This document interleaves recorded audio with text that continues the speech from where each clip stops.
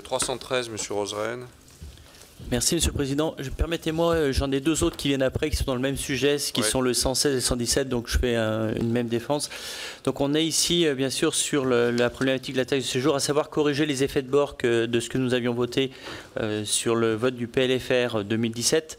En effet, ce dispositif perd aujourd'hui euh, pénalise donc les refuges de montagne et les gîtes parce que le montant des fois de la taxe peut être équivalent de celui d'un 4 étoiles.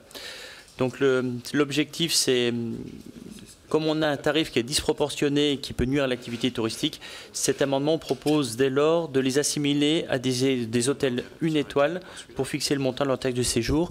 Et puis le 313 a aussi une particularité, c'est qu'il précise juridiquement la définition précise de la notion d'auberge collective.